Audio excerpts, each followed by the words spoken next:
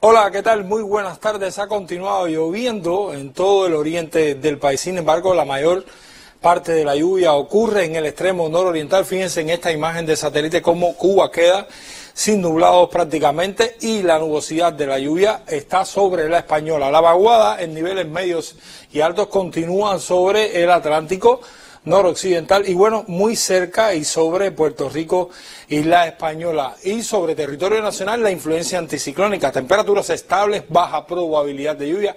Esa será la tónica de las próximas horas. Vamos a tener una tarde parcialmente nublada en todo el territorio nacional, ocasionalmente nublado en alguna localidad, pero con muy baja probabilidad de lluvia esta tarde.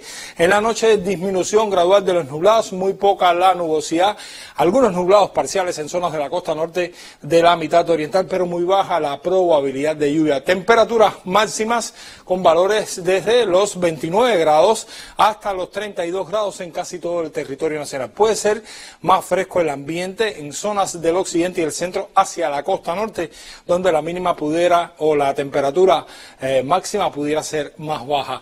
En cuanto a la noche, bueno, los valores de temperatura entre 23 y 26 grados Celsius, algún valor inferior, localidades del interior y sur del occidente del país, pero realmente las más altas pudieran estar en el oriente del país, donde puede llegar hasta 25 grados en Santiago de Cuba. Los vientos variables débiles, pero en horas de la tarde pasarán a soplar débilmente de región norte en zonas de la costa norte con velocidades de hasta 25 kilómetros por hora. La mar tranquila en todos los litorales. En resumen, mis amigos, poco cambio en las condiciones meteorológicas para hoy. Un ambiente bastante estable, fresco, con muy baja probabilidad de lluvia. Les deseo a todos que tengan una tarde muy feliz y hasta mañana.